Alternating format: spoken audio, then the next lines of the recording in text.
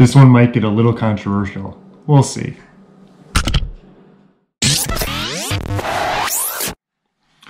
There are strongholds out there stuck in people's minds that catching bass, keeping them, and eating them is wrong. A stronghold is just something that people have in their brain because somebody told them or because they were told something enough times and then they start to believe it and they pass that down to the next generation, so on and so forth. In many ways, those people are correct. Catching bass and keeping them can be wrong in certain situations. But in other situations, it can benefit ecosystems. It can help people learn about preserving nature and being responsible in the outdoors. So I've got three reasons why you should keep and eat bass. Here we go. Reason number one, prevent stunted growth. Let me share a great example with you. I fish one particular lake that I can think of where it's just loaded with bass and I mean loaded. Like you throw your bait over boat almost every time you get a bite. And it's not always a good thing simply because it's loaded with fish so much that all the bass are stunted. The majority of the fish in that lake, as far as bass are concerned, are between 10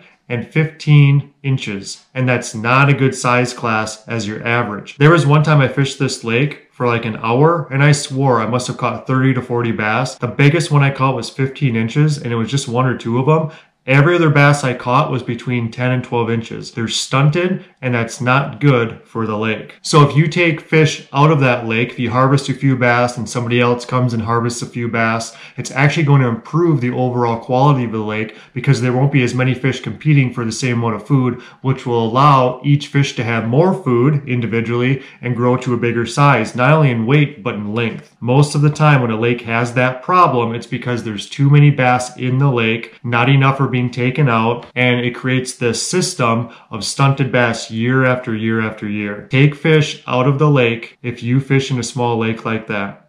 Reason number two, other fish, particularly panfish, will benefit from having larger size bass in that lake or river overall. When bass get big, panfish normally get big. I'm not going to throw a whole bunch of data at you or refer you to this study by some biologist from 10 years ago or whatever because that's boring. But if you talk to a biologist, they will tell you the same thing I'm about to tell you. Wherever you find large bass in a lake, you normally find large panfish in that same lake because it balances each other out. When you go pan fishing sometime and you start catching really big bluegills, if you've got time or you feel like it, switch over and try catching some bass. I bet you'll catch big bass as well. It happens all the time. At the same time, if you're catching nothing but little bluegill after bluegill after bluegill or crappie or perch or whatever you're catching, you're probably going to catch a lot of small bass as well. They go hand in hand. They balance each other out. It's the natural way of having a healthy ecosystem in the lake. So it really helps other fish grow to their potential. When I'm catching eight plus inch bluegills, like nice ones, all the way up to 10 inches, I'm normally catching really nice bass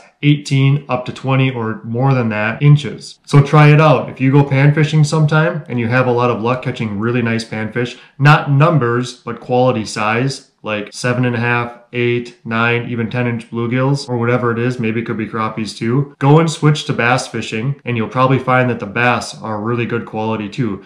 Reason number three, bass taste good. Now stop. Before you walk away, before you say, this guy's crazy, bass don't taste good, let me clarify. Smaller bass between 14 and 16 inches, they have to be 14 inches in Wisconsin in most cases to keep, but smaller bass usually taste better than larger bass. So if you've eaten like a 20 inch bass or something, it's probably not going to taste very good. Here's a couple of reasons why you might not think bass don't taste good. One, because somebody told them they shouldn't because they taste bad. Two, they've never had them cooked properly for them. Or three, they can't cook at all. In some cases, people don't like fish at all, therefore they don't like bass. But if you like walleye, perch, bluegill, crappie, northern, you'll like bass if it's prepared properly, I promise you.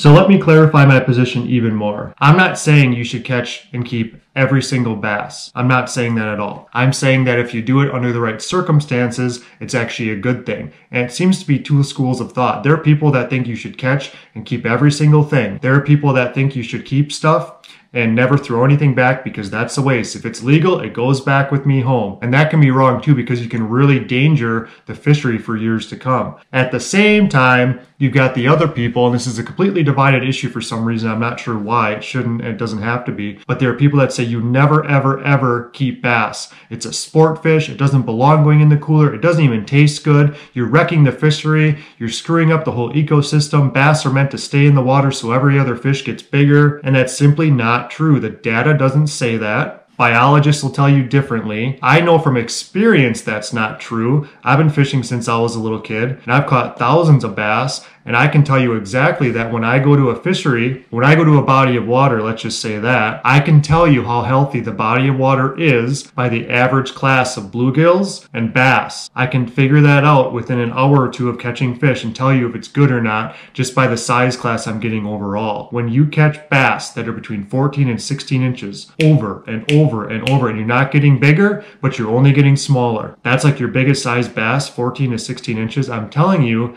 it's not necessarily necessarily a really unhealthy body of water, but it's not a great one. So keeping a bass here and there is not a big deal. It's not going to hurt anything. It's only going to help it in the future. And for some reason, people feel like they need to control other people's actions all the time. I've noticed this especially in the Facebook fishing groups I'm in. Some of them I'm just like, oh my goodness, why am I part of this group? But it's not the group necessarily. It's got a few bad apples, and I'm sure you know exactly what I mean if you're in Facebook groups. There's always four or five, the same people that rip on other people and put them down for their actions, even though they don't know exactly what the situation was to begin with. Let me give you an example. I don't remember, but it was some kind of fishing thing, and a guy posted some pictures of him and his son catching fish, and it was the first time his son really got into some decent bass. And for a little kid who's like 10, you know, catching a couple 14, 15, 16 inch bass is a lot of fun. It's a good challenge, and it's great for that kid, it's great for the dad to see that. He kept a couple of them, posted posted on there and said, oh, these are going to taste good tonight or whatever. And there was so much hate in that post. I couldn't believe it. I'm surprised the person who moderates the group didn't kick those people out or send them warnings. And maybe they did. I just didn't hear about it. But they were saying nasty things like you're teaching your kid to do the wrong thing. Bass are sport fish only. They're not meant to be eaten